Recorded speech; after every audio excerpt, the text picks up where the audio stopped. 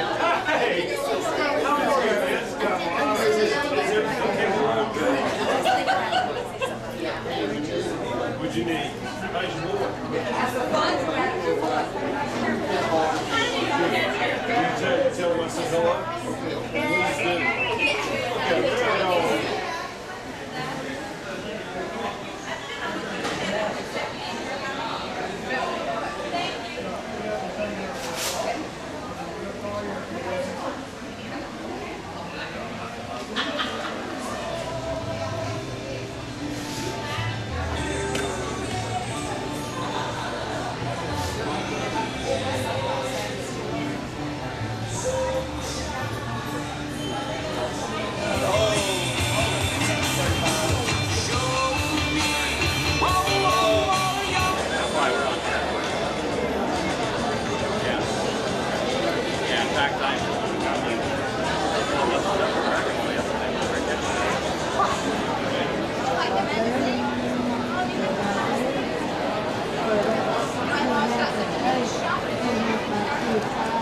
in fact, I.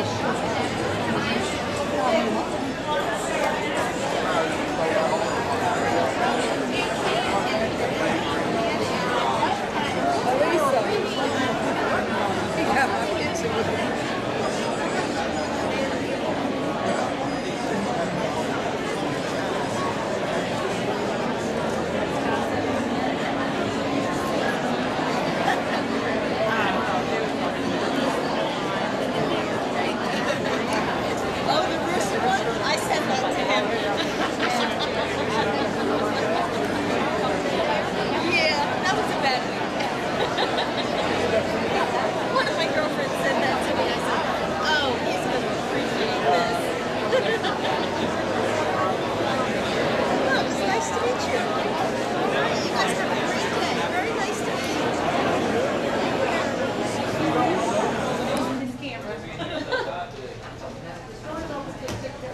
I know, I'm.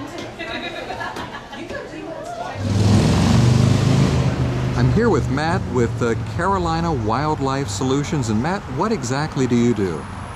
I remove all kinds of wildlife that becomes a nuisance to you, your family, or your business.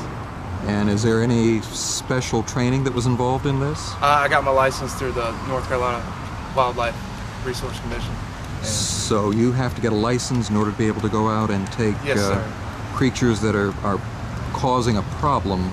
yeah, the license let makes it where you're able to write permits so you can remove them and then transport them. The permits are mainly, you know, to have a, a wild animal in their possession or to I- do anything with them. really. I see. So how many strange animals have you uh, collected lately?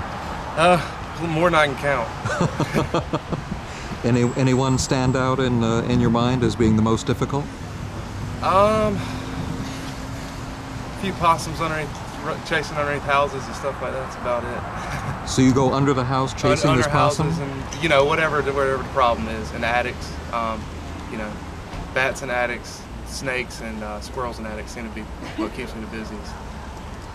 Okay. Well, thank you very much, and good luck, and stay careful. okay.